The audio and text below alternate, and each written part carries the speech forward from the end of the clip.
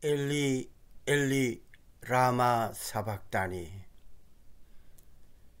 제6시로부터 온 땅이 어둠이 임하여 제9시까지 계속 되더니 제9시쯤에 예수께서 크게 소리 질러 이르시되 엘리 엘리 라마 사박다니 하니 이는 곧 나의 하나님 나의 하나님 어찌하여 나를 버리셨나이까 하는 뜻이라.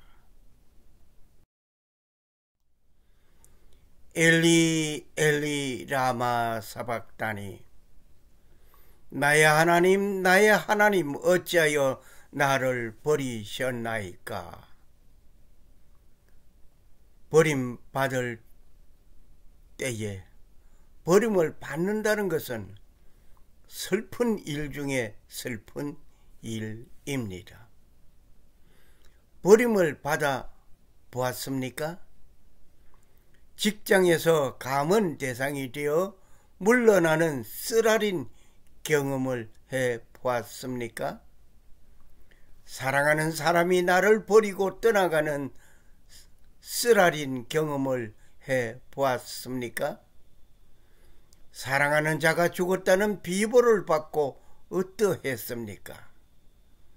배신당하고 버림받는다는 것은 고통과 아픔, 어떻게 표현할지 내가 알고 있는 단어로는 부족하여 표현할 수 없습니다. 배신과 배반, 배신을 당해 봤습니까? 배반을 당해 봤습니까? 배신과 배반을 당한 그 슬픔, 슬퍼하지 않을 사람 없습니다. 배반이란 말은 신의를 버리고 등지고 돌아서는 일을 배반이라고 합니다. 신의를 버리고 떠나버리는 일에 모두 슬퍼하지 않을 사람이 없습니다.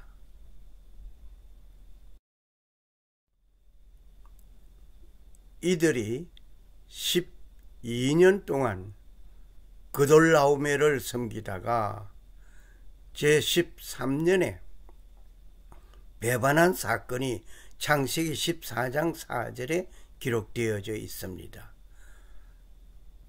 이렇게 배반하는 그 일로 인해서 제14년의 전쟁이 발발하게 되는 기록 있습니다. 그 결과 아브라함의 조카 롯이 잡혀가게 되고 아브라함은 그를 구하기 위하여 아브라함의 군사를 동원하여서 싸워 조카 롯을 찾아오는 일이 생겼습니다. 누가 배반하였든 간에 배반하고 배신한 결과는 엄청난 비극을 초래하게 됩니다. 그리고 버림을 당하였다는 것은 더 말할 나위 없는 슬픈 일입니다. 버림은 쓰지 못할 것을 내 던지는 것이며 보지 않고 모든 것을 모른 채 하는 일을 말하고 쓰지 못하도록 만들어 놓는 것을 배반하고 버린다, 배신한다 등으로 읽어 볼 수 있습니다. 야곱이 형의 눈을 피하여서 도망할 때에 한 곳에서 잠을 자게 되다가 하나님의 보호하심을 받게 되는 일이 있었습니다. 하나님께 서원하며 기도하였던 그곳, 단을 쌓았던 그곳, 이름을 베델이라고 말을 합니다. 하나님께서는 베델로 가서 단을 쌓으라는 하나님의 부르심을 잊고 가기 전에 집 식구들에게 당부하는 말이 있습니다. 너희 중에 있는 이방 신들을 버리고 자신을 정결케 하고 의복을 바꾸어 입어라. 창세기 35장 2절에 말씀하셨습니다. 이 이방 신은 야곱이 사랑하는 아내 라헬이 아버지 집에서 몰래 가지고 온 것이 있었습니다. 야곱은 이 사실을 전혀 알지 못하고 있었습니다. 이것을 버리라고 합니다. 라헬이 이것을 가지고 온 것은 친정집에서 섬기던 신이었기 때문입니다. 라헬은 아버지가 이것을 찾아 가지려고 찾으려고 왔을 때 목숨을 걸고 감춘 일을 우리는 성경 기록에서 잘 알고 있습니다. 이것을 버리라는 남편의 말에 무척 놀랐을 것입니다. 우상을 섬기던 마음을 버리고 자신을 정결케 하며 의복을 바꾸라는 것은 우상을 섬기면서 단장 용품을 옷에 달고 화려하게 꾸미던 것을 모두 버리라는 것입니다. 예수 믿기 전에 섬기던 것을 버리고 개종하는 일에는 상당한 인내와 용기와 결단이 필요한 것입니다.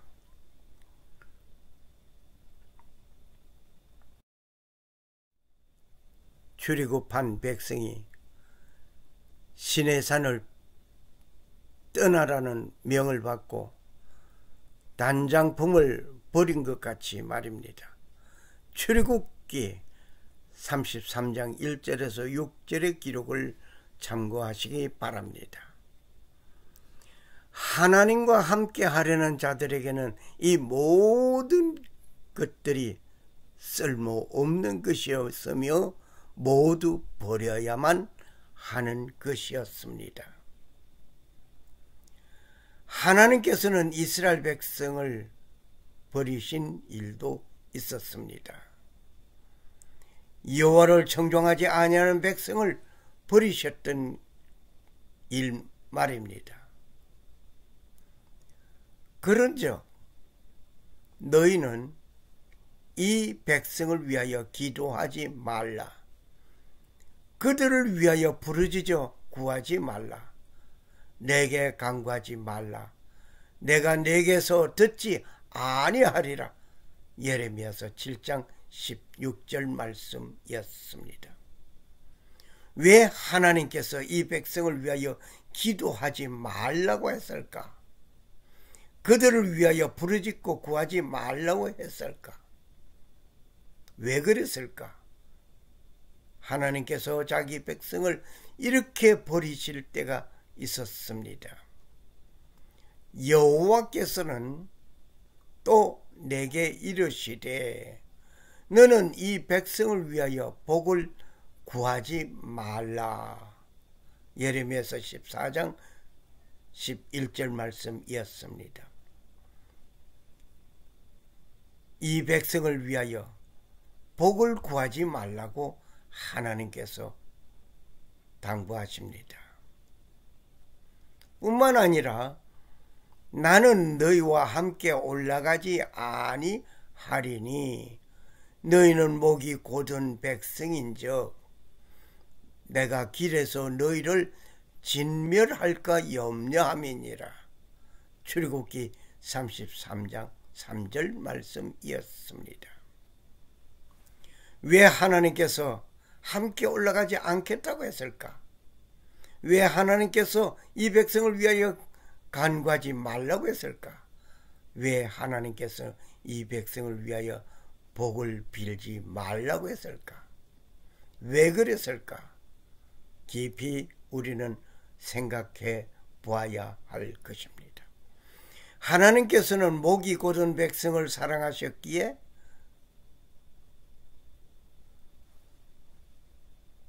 함께 올라가지 아니하겠다 하신 것입니다. 다시 말을 한다면 하나님께서는 그 백성을 사랑하였기 때문에 그대로 그들이 하나님 앞에 범죄하고 하나님을 섬기지 아니하고 하나님 이방신을 섬기고 그런다면 진멸할 것 같으니까 하나님께서 그 백성을 사랑하기 때문에 함께 올라가지 않겠다고 하신 것입니다. 목이 곧은 백성, 즉 다른 말을 하면 교만한 백성이라 이 말입니다. 요즘 우리가 하는 말이 목에 기부세 했냐? 아, 뻣뻣한 사람을 말하죠. 교만한 사람을 말을 해서 목이 곧다, 기부세했다 그러죠. 하나님께서 즉각 처벌하신다고 한다면 한 사람인들 살아남을 수가 있겠습니까? 즉시 처벌하지 않고 회개하기를 기다리시는 하나님이심을 우리는 깨달아야 할. 모세는 하나님께 항변합니다. 주께서 내게 이 백성을 인도하여 올라가라 하시면서 나와 함께 보낼 자를 내게 지시하지 아니하시나이다. 주께서 전에 말씀하시기를 나는 이름으로도 너를 알고 너도 내 앞에 은총을 입었다 하셨사온즉 내가 참으로 주의 목전에 은총을 입었사오면 원컨대 주의 길을 내게 보이소서 내게 주를 알리시고 나로 주의 목전에 은총을 입게 하시며 이 족속을 주의 백성으로 여기소서 출애굽기 33장 12절 13절 말씀이었습니다. 모세는 하나님께 항변합니다. 주의 목전에 은총을 입게 하시며 이 족속을 주의 백성으로 이끌어 달라고 간구합니다. 모세 그 항변에 하나님은 내가 친히 가리라. 내가 너로 쉬게 하리라. 출애굽기 33장 14절 말씀이었습니다. 하나님께서는 함께 가지 않겠다고 하시던 그 하나님은 모세의 그 항변 기도에 하나님은 내가 친히 가리라. 내가 너로 쉬게 하리라. 말씀하셨습니다. 어떻게 보면 하나님께서 생각 없이 말씀하시는 분 같이 보입니다. 이렇게 말씀하시더니 저렇게 행동하고 변덕이 많으신 하나님 같이 보입니다. 그러나 하나님은 시건하지 아니하시는 분입니다. 하나님은 사람이 아니시니 거짓말을 하지 아니하시고 인생이 아니시니 후회가 없으시도다. 어찌 그 말씀하신 바를 행하지 않으시며 하신 말씀을 실행치 아니하시리까. 민수기 23장 19절 말씀이었습니다. 너희가 내 재단 위에 헛되이 불사르지 못하게 하기 위하여 너희 중에 성전 문을 닫을 자가 있었으면 좋겠다. 내가 너희를 기뻐하지 아니하며 너희가 손으로 드리는 것을 받지도 아니하리라. 말락에서 1장 10절 말씀이었습니다. 하나님께서는 내 재단 위에 헛되이 불 사르지 못하게 하기 위해서 성전 문을 닫아버렸으면 좋겠다. 라고 말씀하셨습니다. 하나님께서는 제사장과 백성들의 죄를 보시고 성전 문을 닫았으면 좋겠다고 하시면서 죄악이 가득한 제사장과 백성 버리시는 순간을 봅니다.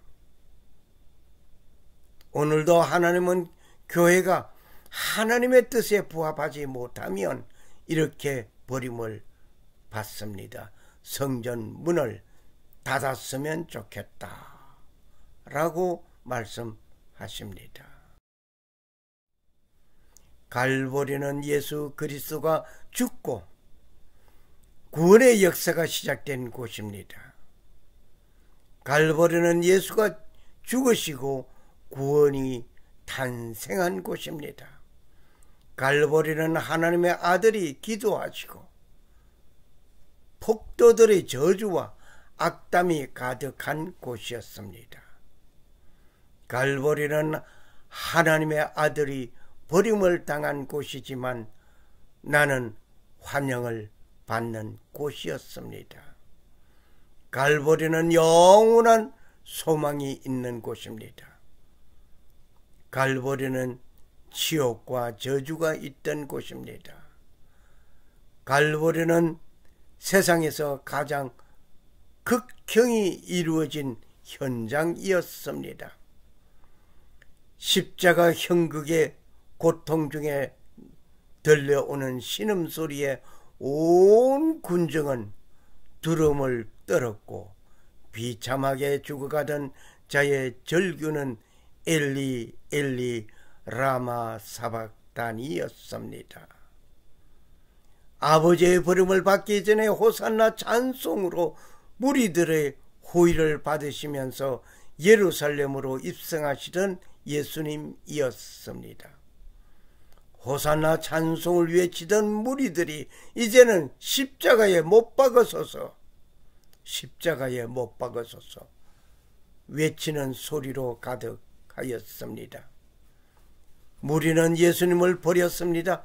민족으로부터 버림을 받은 예수님이었습니다. 로마의 총독 빌라도는 채찍으로 때려서 놓겠다고 하였지만 군중은 십자가에 못 박기를 요청하였습니다.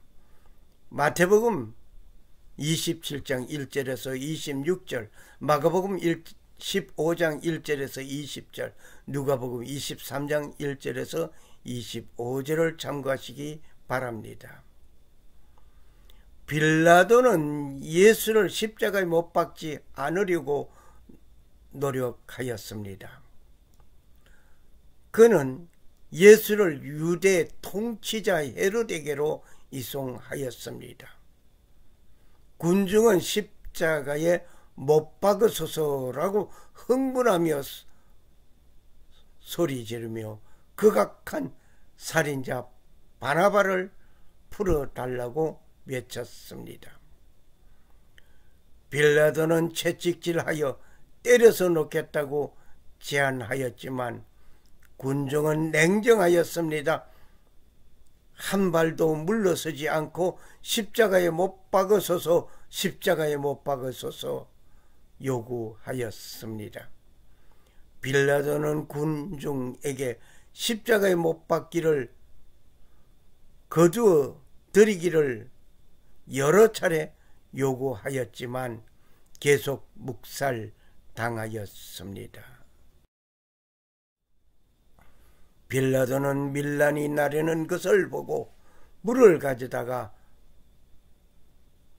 손을 씻으며 이 사람의 피에 대하여 나는 무죄하니 너희가 당하라 하며 예수의 무죄를 선언하였습니다.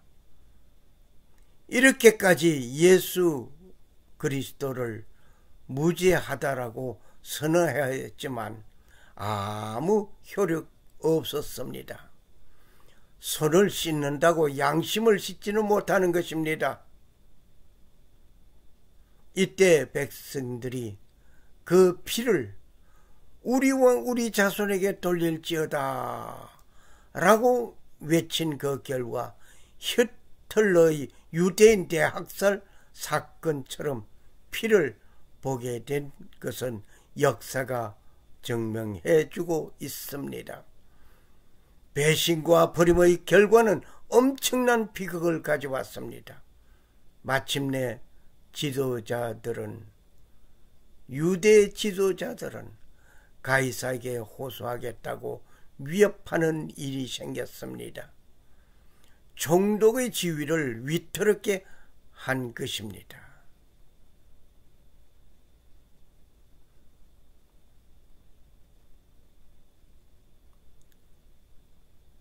손을 씻는다고 양심을 씻지는 못하는 것입니다.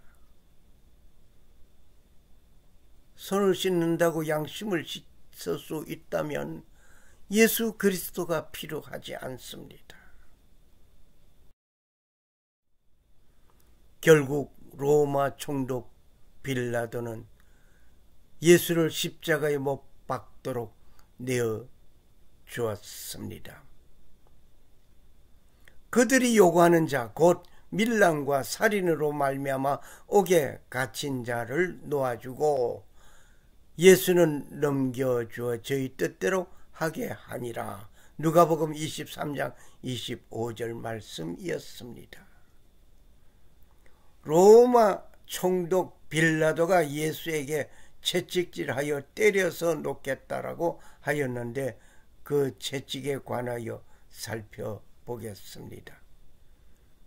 채찍은 큰 형벌 이전에 행하는 것입니다. 채찍은 여러 갈래의 가죽끈 끝에 납덩이가 날카롭게 금속 등이 달려 있습니다. 범죄자의 허리까지 옷을 벗기고 기둥에 매어 구부러진 채 등의 살이 터지도록 채찍질 하는 것입니다. 이때 죽는 사람도 있었다고 하는 기록이 있습니다.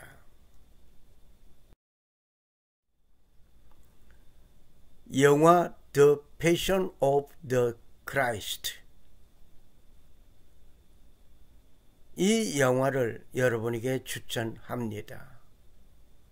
너무나 잔인한 모습들이 많이 나오기는 합니다. 그러나 이 모습을 한 번쯤 보시기를 권합니다. 필자가 권합니다. 이 영화는 너무나 잔인해서 보는 사람에게 그 끔찍한 장면이 나오면 눈을 가리라. 그리고 고개를 숙여라. 그러면서 극장에 들어가는 것을 봤습니다. 그런데 나는 그 영화를 감상할 때에 오히려 그 장면에서 나 때문에 예수님이 저렇게 매를 맞으셨구나. 나 때문에 저 예수 그리스도가 무죄한 예수 그리스도가 저렇게 고난을 받으셨구나.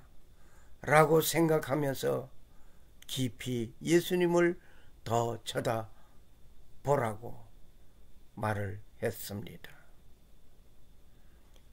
3년 동안 가르침을 받은 한 제자가 스승을 배신하고 은 30에 팔아 버리는 일이 생겼으며 생명을 담보로 한 베드로의 고백은 주님을 모른다고 부인하는 일이 세 번씩이나 있었습니다. 사도 요한을 제외한 모든 제자들은 다 도망가 버렸습니다. 십자가 현장에는 그 모습이 보이지 않았습니다. 사도 요한만이 유일하게 남아 있었습니다. 내가 어려움을 받을 때에, 어려움에 직면하였을 때에, 나를 버리고 도망가는 자가 있다면 그것도 가장 가까이 있던 자들이 나를 버리고 가 버렸다면 그 배신감은 어떠하겠느냐 말입니다. 3년 동안 가르쳤지만 3년 동안 함께 있었지만 나를 팔고 가는 자가 있는가 하면 나를 둬두고 저 멀리 달아나 버리는 자가 있는가 하면 수제자 베드로까지 나 그 사람 모른다고 주저하며 맹세하며 부인하던 그 일들 예수님의 심정 속에 크나큰 슬픔이 가득했을 것입니다.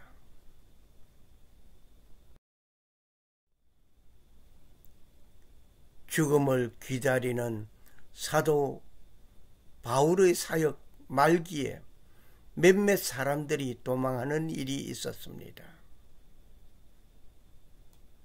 대만은 이 세상을 사랑하여 나를 버리고 데살로니가로 갔고 그레스게는 갈라디아로 디도는 달마디아로 갔고 누가만 나와 함께 있으니라.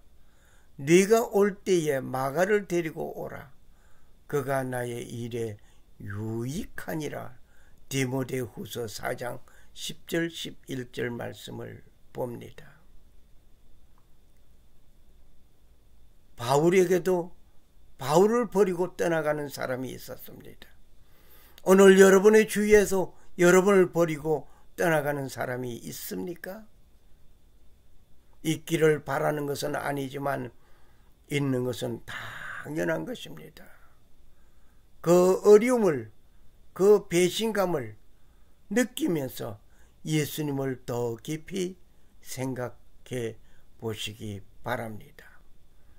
어려운, 어려운 일을 당할 때에 곁에서 함께 고통을 나누는 자가 있는 것은 크나큰 힘이 되는 것입니다. 잠언 17장 17절에 이런 말씀이 있습니다. 친구는 사랑이 끊어지지 아니하고 형제는 위급할 때를 위하여 낳느니라는 말씀이 있습니다. 끊어지지 아니하는 친구의 사랑 나의 친구 대신 예수 그리스도를 버리지 않는 아름다운 사랑의 모습이 되기를 바랍니다. 위급한 일을 당할 때 그 친구 곁에 있어야 하는 것이 진정한 친구입니다. 베드로는 목숨을 다하여 예수 그리스도를 따르겠다고 각오하였지만 결국 세 번씩이나 부인하는 일이 생겼습니다. 요한복음 13장 36절, 37절, 38절 참고하시기 바랍니다. 도마 역시 예수님과 함께 죽으려 가자고 하였지만은 그도 역시 후일에 예수님을 버리고 도망가는 일 있었습니다. 요한복음 11장 15절 16절 참고하시기 바랍니다. 어려움에 처한 예수님 곁에 마땅히 함께 있어야 할 그의 제자들은 도망갔습니다. 그러나 사랑하던 제자 요한은 예수님의 곁에 있었습니다. 십자가 앞에 왔습니다. 많은 머리가 옹호하고 있었듯 따랐던 그 일들, 찬양하는 그 소리가 중요한 것이 아니라 나의 어려움에 동참하는 그 한 사람이 중요한 것입니다.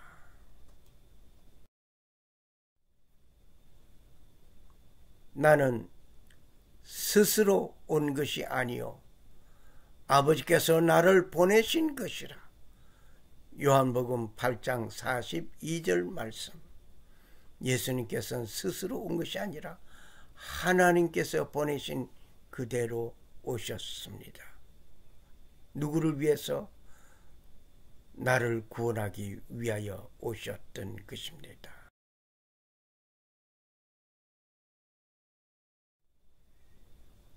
그가 찔림은 우리의 허물을 인함이요. 그가 상함은 우리의 죄악을 인함이라. 그가 징계를 받음으로 우리가 평화를 누리고 그가 채찍에 맞음으로 우리가 나음을 입었도다. 이사야서 53장 5절 말씀.